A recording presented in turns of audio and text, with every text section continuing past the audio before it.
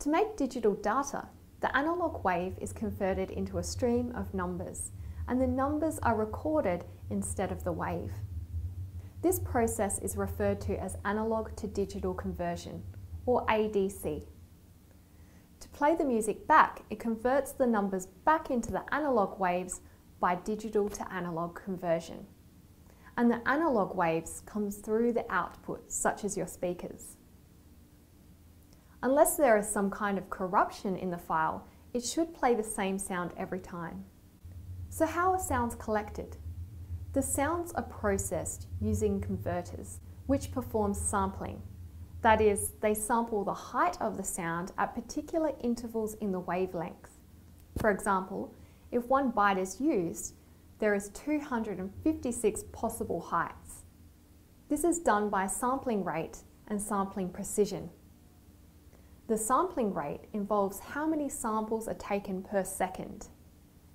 Sampling precision involves how many different gradations there are possible. By increasing the sampling rate and precision rate, you can reduce the likelihood of errors and produce a sound that is closer to perfect. On a CD, numbers produced are stored as bytes. The data are burned into the CD as a series of bits. This is essentially a set of instructions for how the computer should play the sounds. The fundamental job of the CD player is to focus the laser on tiny little bumps. The laser reflects light off the CD player and the sensor detects changes in reflectivity caused by the bumps. The electronics in the drive interpret those changes to read the bits that make up the bytes. If there is a scratch on your CD, which might cause a packet of bytes to be misread. Your computer uses error correction techniques to try and recover.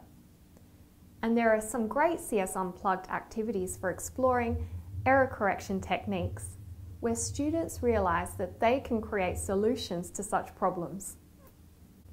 Using storage can include CD-ROM, which is computer data, or CDDA, which is audio.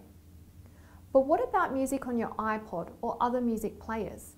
An MP3 player is essentially a data storage device with software that allows music data to be transferred to the device.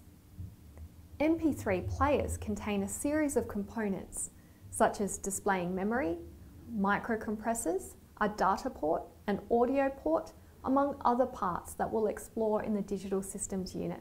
The MP3 compression format creates files that don't exactly sound like the original recording, but in order to decrease the size of the file significantly, MP3 encoders have to lose audio information.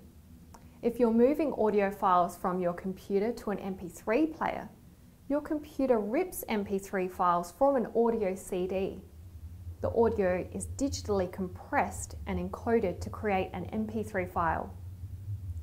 These files are then transferred and played on your device. Let's have a look at some examples of how you can explore sound in your classroom. Students could create or follow music symbols for a particular song. Students could create patterns and then swap symbols and play one another's songs. In drama, students could listen to the sound of an animal and represent the dynamic of the sound with their body movement. Teachers could also play the sound of an animal or other sound and students could guess what the wavelength might look like by drawing it or perhaps recreating it with the body movement. This area offers opportunities to link sound representation with exploring how sound travels.